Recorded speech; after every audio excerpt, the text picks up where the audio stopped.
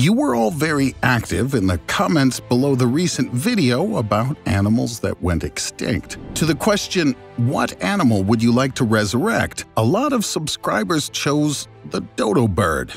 And it makes sense, as dodos are one of the most popular birds in cartoons.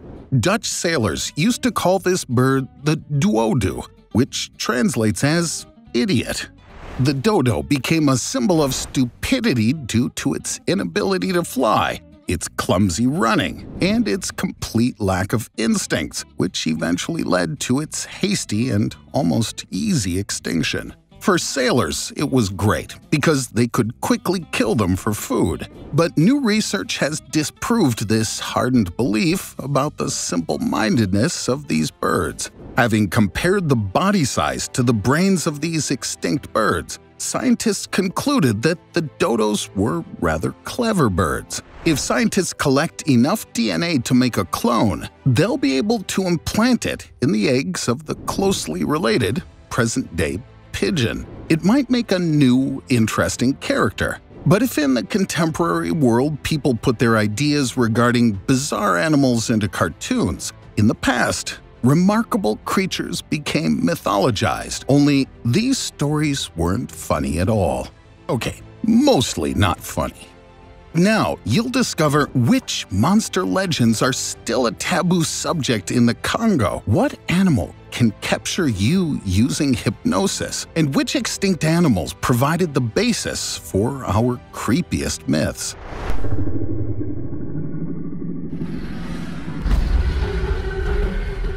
So, what did the strangest extinct animals look like? Show the Cro-Magnon a pug, and it'll be taken for a monster. In the same vein, most extinct animals often seem pretty strange to us. For example, the Platybelodon, a genus of extinct proboscideans living 15 million years ago. And it's terribly funny looking. Although the beast had four terrifying tusks, it just doesn't look sinister at all because it had no trunk. Instead, the beast had a peculiar shovel like lower jaw, and its whole mouth and lips were elongated.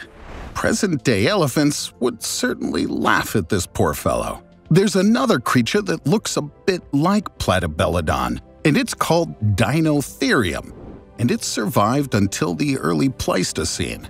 This guy was lucky enough to have a trunk, but its tusks pointed backwards.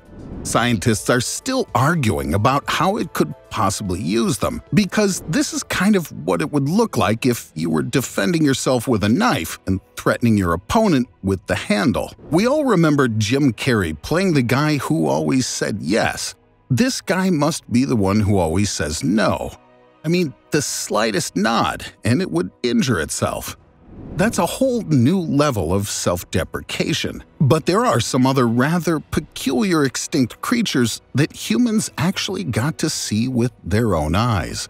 Roy Mackal, a University of Chicago biologist in the 1980s, decided to lead an expedition to the Likouala swamps to search for the mysterious water monster that was described in the myths and legends of the Republic of the Congo. But the nearby tribesmen refused to assist him in any way. It turned out it was a taboo subject in that area. That's how much people were afraid of this particular creature. One woman finally shared her ancestors' tales and told the researchers a story of an animal with boards in its back when she was a kid, her parents warned her about a strange beast and advised her to hide behind trees if she saw it in the woods. She also added that once she actually noticed the creature's back peeking out of some water. But what is this fantastic beast?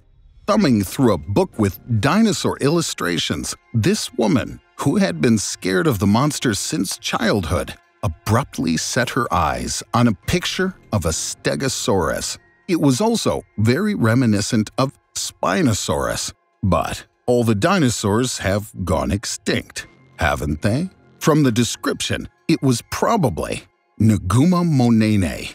Nguma monene is a giant lizard that lived in Central Africa. It had a forked tongue, short legs, and a serrated frill along its spine.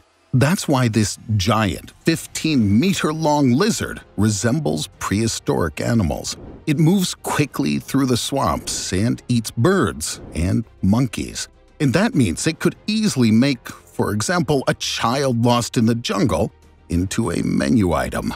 And that's not the strangest animal that could really pose a threat to humans. Our ancestors, thank God, didn't happen to see the following creatures with their own eyes. But if they had encountered them, there would be no chance of survival. For example, therizinosaurs. This guy's listed twice in the Guinness Book of Records. First, for having three claws on each of its paws, with each of the claws being over a meter long. Therizinosaurs could easily kill a person with their embrace. Second, the relatively tiny skull of this 12 meter tall monster was desperately trying to fit with its long neck, but looked quite disproportionate when combined with its large body. And it looked pretty strange already. It turns out it's possible to be so strange that it would be considered a record. It might just be that this guy is the prototype for our well known friend, Freddy Krueger. The next beast didn't become a myth, but somehow people associate it with Lucifer. And it's a frog. No, not like that. But the giant devil frog, also known as the Beelzebufo ampinga. It's gigantic because it's the size of a pit bull and weighs as much as an alibi dog. It's the largest frog that ever existed. But why do they call it devilish? Because its jaws are capable of producing pressure, the equivalent of 2,200 newtons, which is close to the jaw-closing force of mammalian predators. That's why this frog could have easily had dinosaurs for dinner. But could it have the power of hypnosis, like the Hypnotoad from Futurama? In Australian Aboriginal folklore, there's a legend about a strange and dangerous amphibian that turns people into slaves after hypnotizing them. Meet Bunyip. They say it hid in the depths of swamps and small rivers. Legend says that the creature was even capable of changing the water level. This mysterious beast hunted people, especially women and children. Bunyip killed its victims by hugging them to death with its sharp claws. But as it turned out, this mythological creature could be the extinct Australian marsupial called Thylacoleo, also known as the marsupial lion. It had the most powerful bite amongst all mammalian species. It might even have climbed trees to dispose of the bodies of its victims. Many bones with strange cuts that fit the jaws of a thylacoleo were excavated in its habitat, Lancefield. It turned out the bones belonged to about a few hundred thousand different people. But what could be even scarier than hypnosis? Fangs and claws, how about tentacles and pincers? And so we come to myths of extinct arthropods. There's a mysterious story of how three men were trying to catch a swordfish when suddenly a giant big-eyed sea monster appeared just in front of them and started attacking the boat. A desperate fight broke out, the monster was round-shaped and emitted a dark liquid with a poisonous smell. The three terrified men hightailed it out of there, luckily making their escape. The next morning, the trio lay in their beds, pale, trembling, and refused to eat. These reminiscences were found in the journal of John Batchelor, a 19th century missionary. And no, it was not the Kraken known to us, but another mythological character, the Akoro Kamui.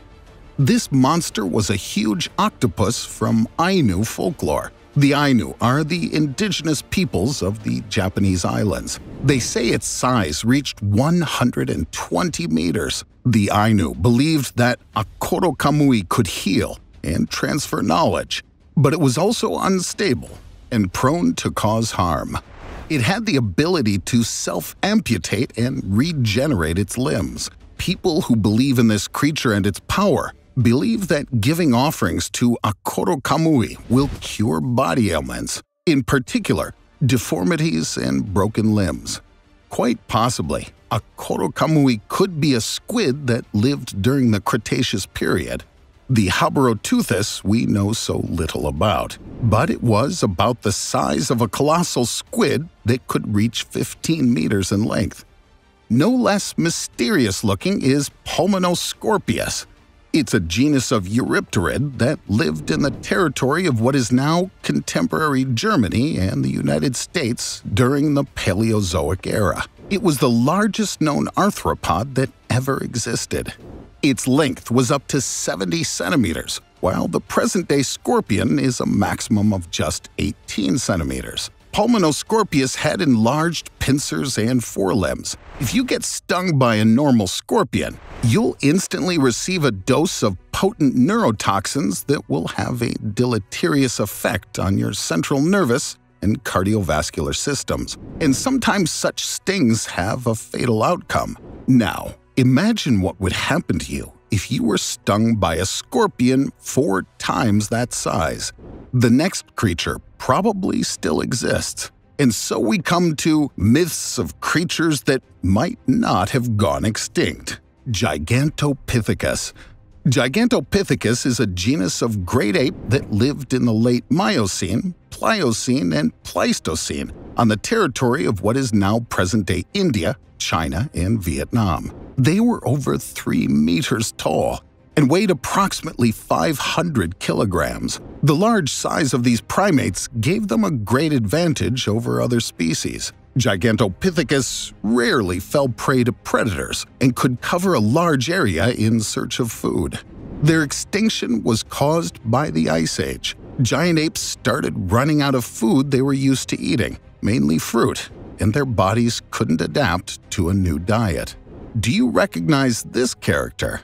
Legends of many civilizations speak of strange people or apes covered head to toe in fur. Bigfoot's image is based on apparent eyewitness testimony, large footprints in snow, and samples of fur. But the most likely explanation for Bigfoot, and the Yeti, if they exist, is that they are the direct descendants of Gigantopithecus. This intelligent animal, which prefers to be alone, would likely retreat into the deep woods or mountains if human civilization invaded its territory. And if it were clever enough, it might be able to hide from people for hundreds or even thousands of years.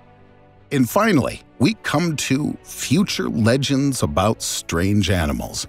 As you can see, often when people face something difficult to understand, they come up with a legend for it. I want you to imagine you're an early human who's not yet familiar with present-day animals.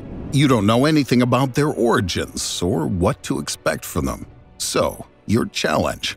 Write a short myth or legend about any modern-day animal in the comments. For example, what about a monster that didn't come into existence until the 16th century? Yeah, I'm talking about The Pug.